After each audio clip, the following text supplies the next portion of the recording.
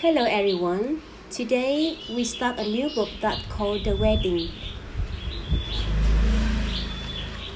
The Wedding có nghĩa là đám cưới. Joe was mom's sister. Joe là uh, em gái của mẹ. She was getting married. Cô ấy sắp sửa đám cưới. Wilma was happy. Wilma rất là vui. She wanted to be a bridesmaid.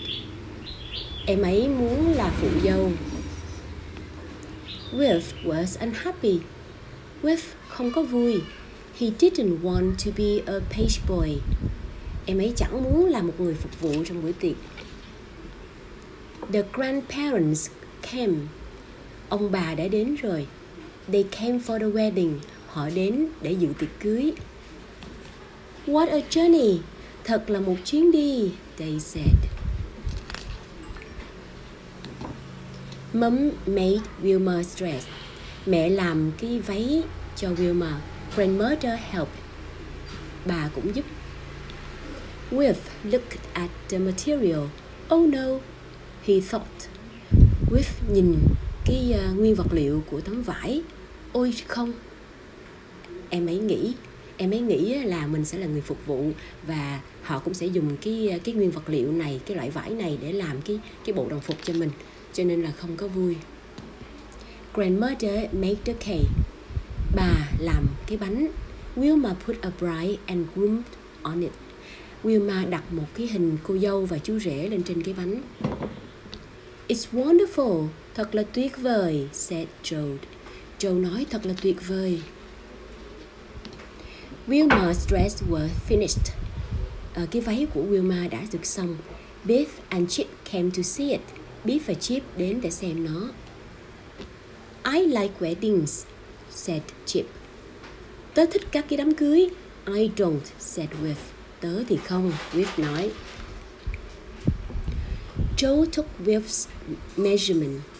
À, cô Joe đo các cái chỉ số đo trên người của Whiff.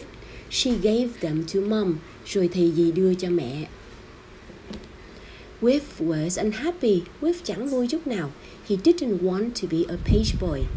Em ấy chẳng muốn là một người phục vụ trong bữa tiệc. Mom had been shopping. Mẹ đi mua sắm. She had a surprise for With. Mẹ có một bất ngờ cho With. What is it? Asked With. With hỏi cái gì vậy mẹ?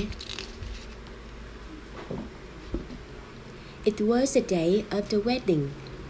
Đã đến ngày làm đám cưới. Dad made a video. Bố quay phim. Biff, Biff took a photograph. Biff thì chụp hình.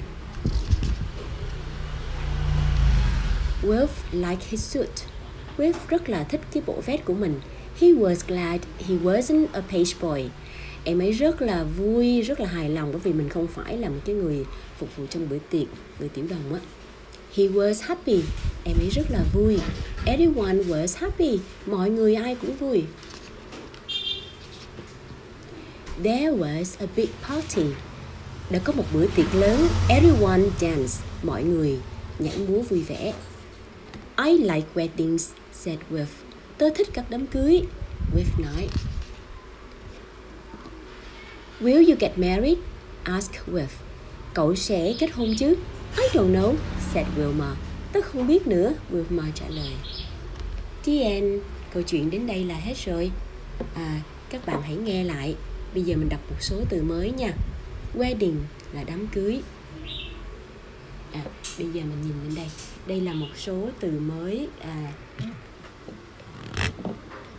các bạn hãy viết vào trong vở nhé. À, từ đầu tiên đó là sister, chị gái, em gái. Từ thứ hai là get married là kết hôn, wedding là đám cưới, bridesmaid là phụ dâu, page boy là tiểu đồng là cái người phục vụ ở tiệc, bridegroom đôi khi người ta chỉ viết chữ groom thôi là chú rể, bride là cô dâu. Thank you everyone.